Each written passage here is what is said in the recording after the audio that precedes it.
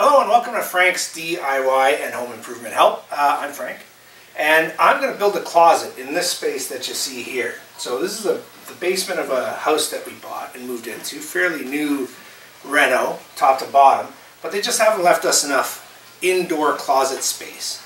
So this is a huge basement area, um, but it has no closets. It has storage uh, that's like a cantina style cold room storage, but we want some warm storage in here. So we're going to take this space, which just comes down from a staircase here into this big room, which is a mess, but it'll give you an idea of what we got here. Erica and Tower playing.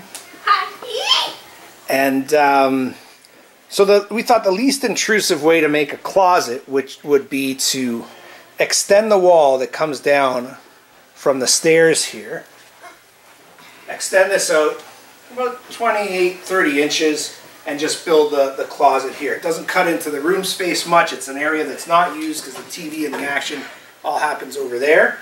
And uh, so that's what we're going to do. So in a nutshell, what I'm going to do is I'm going to remove baseboards. I'm going to cut away the carpet so that I can put the base plates right on the floor. And, uh, and then mark it all out, frame it, install a double door, double closet door, drywall, and trim. So it's going to be the whole works from beginning to end. And I'll try not to make the video too long, but hopefully it'll uh, help you make, uh, make your basement. All right, thanks for joining me. We'll edit him out.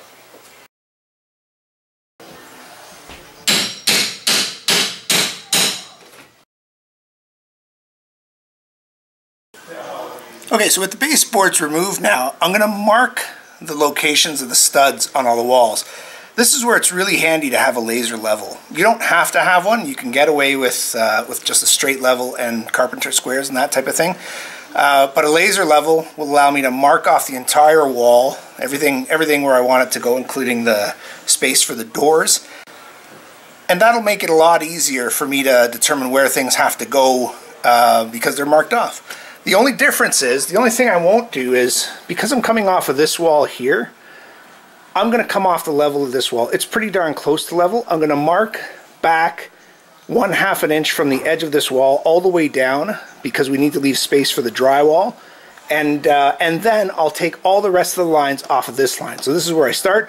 I'll mark up the carpet and I'll cut it out and then I'll start laying boards down.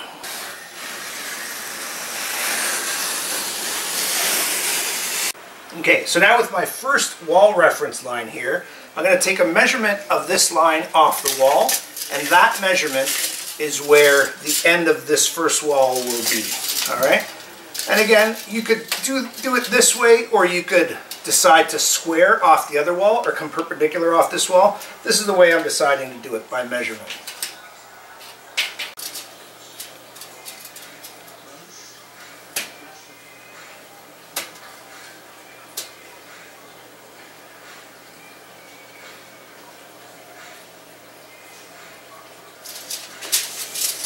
Okay, so I've marked the four corners off on the carpet, and now because we have two reference points for each wall, one here, one there, one here, one over there, now we can put our laser on it because we have two references. It's just like a gun sight. You want one reference to line up with the other. Now if we put the laser on those two references, we get the lines for the ceilings all the way across, mark the whole thing off, and you're ready to frame, or you're ready to cut at least. Okay, so here we have an issue, which happens a lot in framing, right? Your house is never square, and you are going to run into problems because of that. And here's my first problem right here. You see how my line goes up really nicely. My laser line goes along my pre-marked line for the drywall anyway. But then it gets to the top here, and look what happens. See, we lose it. We lose the line because this uh, box here is not perpendicular to that wall, right? So again, for the purposes of this construction, I'm going to follow this line because that's the easiest thing to do and it's the least unsightly thing to do. Yes, it's not square off that wall, but none of the house is square. Uh, that's just the way construction goes. So you do have to notice that. So instead of marking my vertical line with the laser now, all I'm going to do is again mark one half of an inch inside from the edge of this box and that's where my wall is going to go. At least this wall is not going to work the way I want it to work, but it'll still be fine.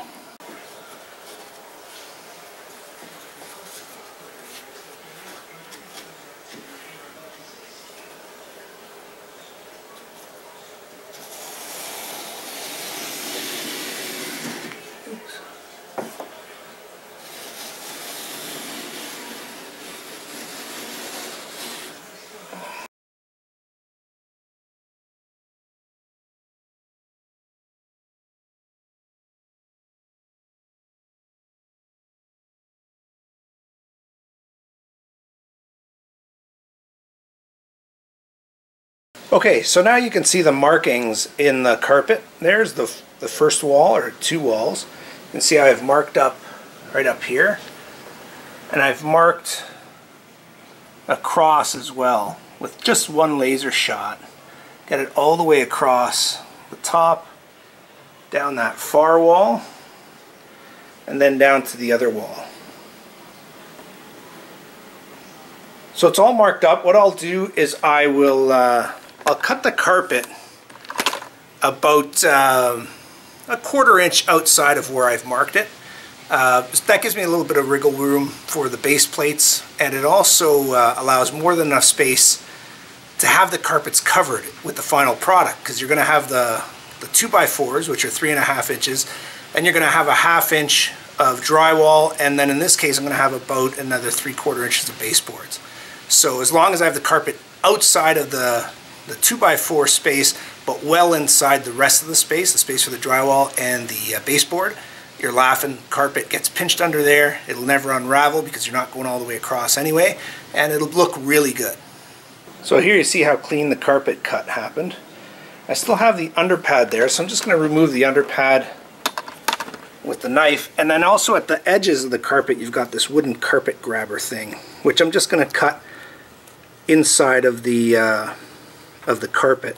So under there and under there, staying clear of those nails. I'll probably take those nails with me. I'm going to cut that with an oscillating tool because the oscillating tool just zips right through it, no problem. And we're ready for um, vapor barrier underneath and we're ready to lay down some walls.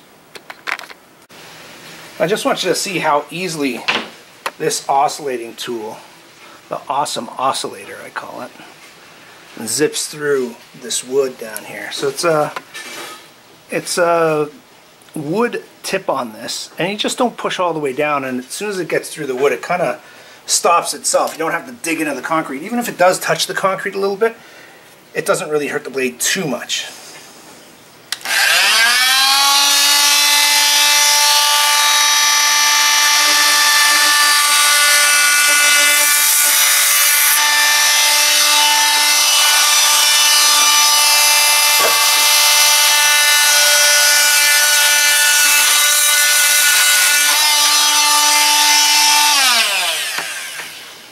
One, two, zip, zip. And then just a little pop gets it out. All right, just like that. Okay, so I've now measured out, cut, and dry fit my pieces. And the reason why I dry fit them is just to make sure that my distance for my uh, door frame here, my rough door frame opening has to be a certain amount. I wanted to make sure that was right before I finally put any of these in. I've put a vapor barrier underneath so it's all ready to go. Now what I'm going to do is pre-drill these pieces so I can drive, I can use my concrete driving gun to drive a few nails into this to secure that into the ground. That's the next step and then we're starting to put the vertical pieces on. Using this concrete driver to uh, drive home the nails that are going to bring the base plate in, right? And I love this tool. Um, so there's different versions. There's an actual one that's an actual gun that you just pull the trigger, but this one you hammer down on that. You insert this 22 cartridge in it, and there are a bunch of different uh, sizes of cartridge. As you can see here, this is the number 4 out of 5. That tells you how much powder charge you're using to blow the nail in. And the nail is this Ramset nail, which does a great job in the concrete. So using all the protection, proper protections to hammer those in and we'll get and I've pre-drilled the holes put the vapor barrier down underneath I'll hit the first one over there just on the lines that I've marked and then I'll set up the laser to make sure the other one is straight. Normally you'd put the base plate all the way across the opening of the of the door frame there and then cut it out. But um, but you can't with the carpet because it doesn't sit flush. So you have to do it in two pieces. And it's great to have the laser to put right across there when you're nailing it in just to make sure it's a perfectly straight line.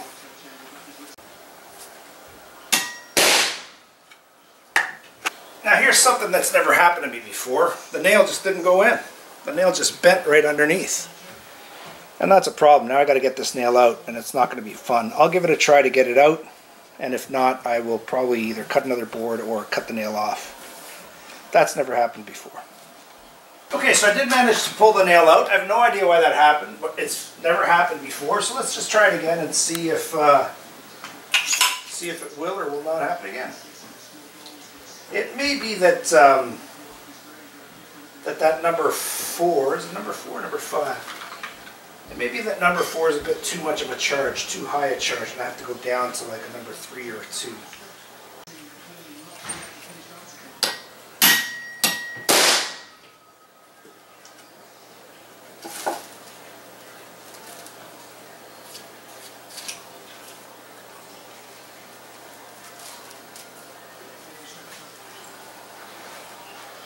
So this nail didn't go in either. Look at this. No idea why this is happening. It's never happened before. So I'm going to try and change the variables here. Maybe uh, hit another nail at a different location. Maybe it's something to do with the concrete right there in that corner. But yeah, it's never happened before. Okay, so I ended up trying it one more time and it worked uh, in a different hole actually. So I'll hit the rest of the nails in this board and see how the board feels, see if I'm happy with it, and then either not hit in that same spot where we've had the problems, or try it one last time. So like I say, this is the first time I've put in, I don't know, probably four or five walls where I've uh, needed to drive wood into the uh, concrete basement floor. Never had this issue before, so it's a bit of a surprise. Let's see if, uh, if it was a one of or if it persists.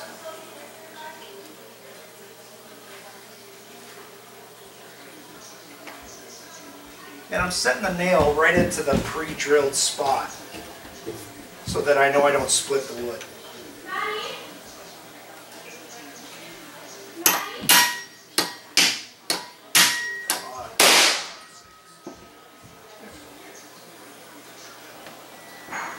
Yeah, so that is much better. It's in a real good spot, so I'll just keep hitting them. Okay, so that worked a lot better. I put five nails in there it is absolutely solid. So uh, I'm not going to try and put the sixth one in because whatever, maybe it's something that's going on in that area where it's not uh, it's not accepting nails. So I don't want to push it any further. I am now going to put the laser down to get my straight line for the front wall of the uh, closet and then put in my nails there as well. And this is the beauty of doing all the pre-marking is that now I can put that laser, as long as I line up all the stuff all the markings that I did above and on the far wall, this line has to be perfect. So I'll show you what I did here with the laser. I started off lining up the end of the board there. See how it's just on the edge of the board? And then I lined it up with all the markings I put on the walls and the ceilings. So you see that's all lined up, all lined up all the way around. So that means that as long as I line up these two pieces, which are still loose, as long as I line these up with the laser, it should be perfectly square and perfectly plumb. Perfect, huh? Well, it doesn't always work out that way, but we'll see. At least the plan seems solid. We'll see how the execution goes.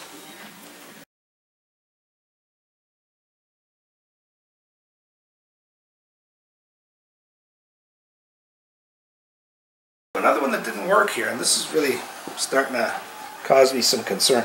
I've only got, what, five or six shots to do here, but if this keeps happening, I'll never get it done. So I'm going to pull this nail and try again. Okay, so one thing I noticed with that last one that didn't go in so well was that the concrete underneath it all kind of disintegrated away. Kind of became chalk-like, and, and driving another nail in there probably would have been useless. So I drove the nail right beside it, and it worked fine. So I just need to drive maybe maybe three more, and this piece is done.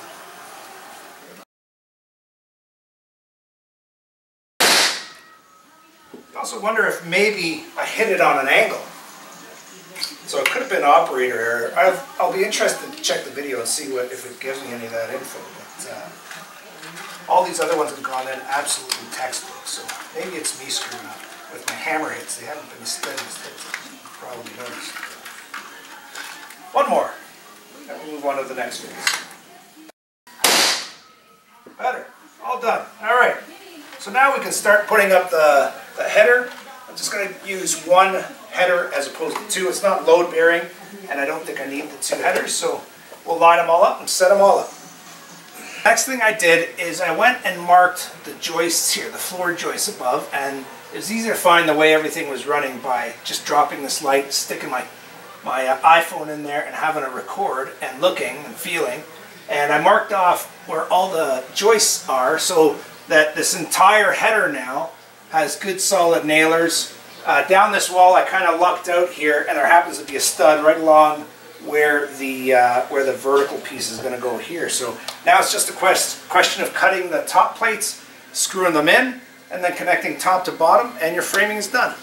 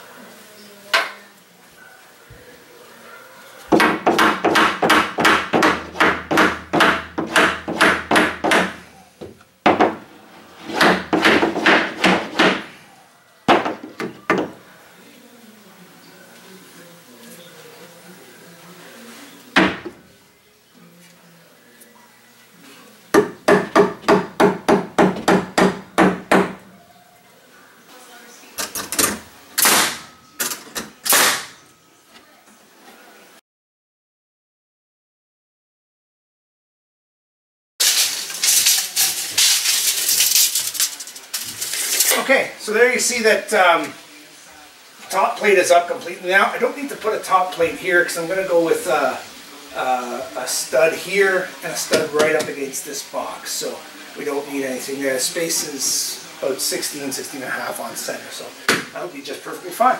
Now we just start putting the studs up from there all the way around, frame out the door. Bob's your uncle, we're almost done.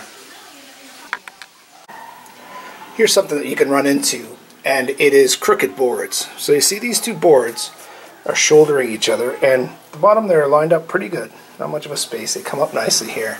But then nearing the top, a big space opens up and that's because the boards are twisted. And if you look at, at it from this side too, this side pretty nice and nice and square there but then as you go up same type of thing you start seeing a bit of a space there you see that gap so we're going to close those spaces with wood clamps, with C-clamps, just to make them perfect. Uh, again, framing, you don't really have to be perfect. You can be quite happily within, you know, a quarter inch here or there. But where, where you've got two pieces side by side like that, shouldering each other, you got to have them really nice and flush or else the drywall is not going to fit properly. All right, so we'll clamp it up and that should fix the problem.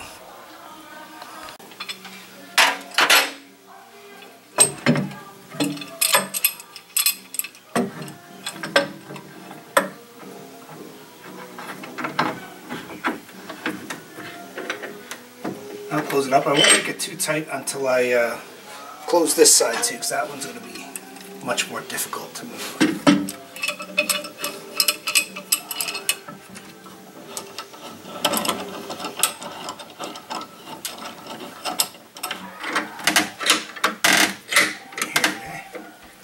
That's much better. Now they are flush all four ways.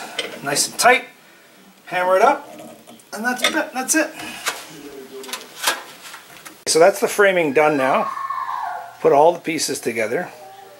And I'm really happy with the job. And I'm happy with it not just because uh, I've done it. I'm happy with it because it is solid. I was able to find nailers everywhere. Um, this piece here is right against the stud. Um, all the, the top plate, the entire top plate is uh, is into the floor joists above. That piece over there in the corner is right against that corner 2x4. We've got pieces into the box there, and of course the cement floor, nails into the cement floor. Although that was a little trying, it worked out all right. The only thing in this job that isn't really ideal is the fact that I couldn't maintain level on this box up there because it was not perpendicular to the wall. So um, this is how far we're out though. And that's not too bad. It should really be, wall should really be about there. Um, but for framing, it looks solid. You, really had no choice because you have to end up feathering into this existing wall with your half inch drywall and into the box up top. Same type thing, half inch drywall. Now, uh, the next thing to do is hang closet double doors, but I'll do that in the next video. So uh, just a little fair warning and disclaimers here. I'm certainly not a licensed trade person. I'm just a dude that owns a house and knows a little bit about carpentry and framing and such. Uh, building codes could vary in your area, so you figure out what you've got to do to, to satisfy that requirement. Um, and tools. Um, you don't have to use the tools that I use, right? Laser level is fantastic. That laser level that I've got is the DeWalt. Costs about like 450 bucks Canadian. So, you know, 20 bucks American, something like that. I don't know. No, uh, substantially less American, but uh, it's a fantastic tool. If you're going to do a lot of framing or a lot of carpentry, it is really, really valuable. Uh, but you don't have to have it. Just a level and a carpenter square, and you can do exactly the same thing. Might just take you longer, might just not be quite as, as exact. Uh, air gun, you don't need. Screw gun, I hardly use the screw gun here at all. But uh, that's about it. The rest is just basic carpentry, and you can do it. If I can do it, you can do it. And thanks for joining me on Frank's DIY and Homeowner's Help.